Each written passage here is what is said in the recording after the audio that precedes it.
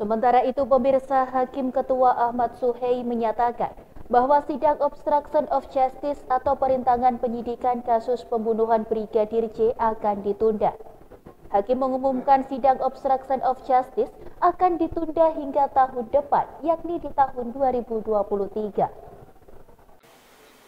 Hakim Ketua Ahmad Suhei menyatakan bahwa sidang obstruction of justice atau perintangan penyidikan terhadap kasus pembunuhan Brigadir J akan ditunda. Hal itu disampaikan dalam sidang obstruction of justice yang digelar pada Jumat 23 Desember. Sidang obstruction of justice dengan terdakwa Arif Rahman Arifin dan Irfan Widianto digelar di Pengadilan Negeri Jakarta Selatan.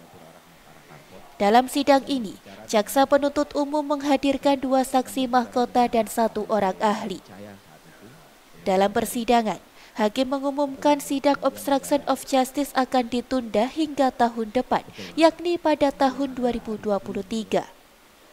Sidang perintangan penyidikan pembunuhan Brigadir J akan dibuka kembali pada Kamis 5 Januari 2022 karena mulai pada pekan depan majelis hakim sudah mengambil cuti.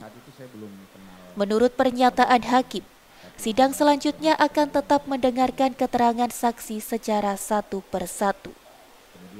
Dari Jakarta Selatan, daerah khusus Ibu Kota Jakarta, Tim Liputan Madu TV mewartakan.